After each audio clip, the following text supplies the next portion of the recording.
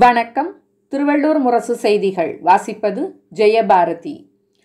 திருவள்ளூரில் புதிதாக கட்டப்பட்டு வரும் அரசு மருத்துவக் கல்லூரி மருத்துவமனை அருகே விடுதலை சிறுத்தைகள் கட்சியின் தொழிலாளர் விடுதலை முன்னணி சார்பில் ஆட்டோ ஸ்டாண்ட் திறப்பு விழா நடைபெற்றது. விடுதலை சிறுத்தைகள் கட்சியின் மாவட்ட செயலாளர் சித்தார்த்தன் தலைமையேற்று புதிய ஆட்டோ ஸ்டாண்டில் கொடியேற்றி பெயர் பலகையை திறந்து வைத்தார்.